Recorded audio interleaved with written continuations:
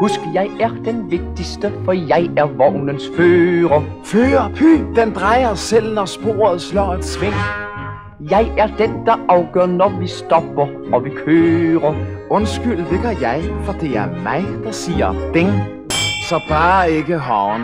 Tak, du er kun en klovn, der aldrig bliver til mere på denne vogn. Åh, skidt, der kommer altid en sporvogn og en pige til. Min rang som vognstyr, den kan du aldrig stige til. Jeg tror, jeg stiger til endnu mere. Det lyder højst interessant til hvad? Til passager, jeg kører med pigen i skoven. Det lyder lige til, men det får du bare aldrig nogen pige til. Der kommer altid en pige, En sporvogn, en pige, en sporvogn. en pige til. Stolt jeg står for alles blik som gallionsfiguren. Ja, og når de ser dig, ser de straks den anden vej. H.P. Sørensen står hos mig hver gang han kører turen. Men de flotte piger kommer altid om til mig. Se der, hun har fasongen. Hun bølger med balkongen.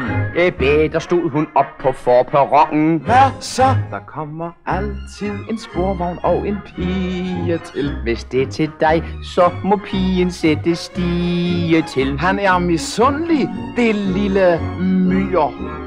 Tag nu og husk, det er mig, der står ved vognens styr. Du styrer sporvognen rent af cirkus Mie til. Vi to er færdige, og hvad skal du så blive til? Der kommer altid en sporvogn, En pige, en sporvogn, en pige. en sporvogn til. Jeg er faktisk blevet et symbol på linje 8. Det er da godt, du selv kan se, du er en smule skør. Du har snart gjort hele linjen til en anekdote. Stakkel, man kan høre, du kun er født til konduktør. Jeg klarer alt med glans. Ja, måske på Sankt Hans. En mand som jeg kan altid få en chance. Der kommer altid en sporvogn og en pige til, men ingen af delene skal man lade sig vie til. Næ, begge dele bliver træt af dig. Ah, hvis jeg vil, så er det blot et ord. Og det bliver nej. Siger Eva nej, springer Dagny og Sofie til, så kører vognen ekspres af himmerie til. Der kommer altid en pige, En sporvogn, en pige, en sporvogn, en pige til.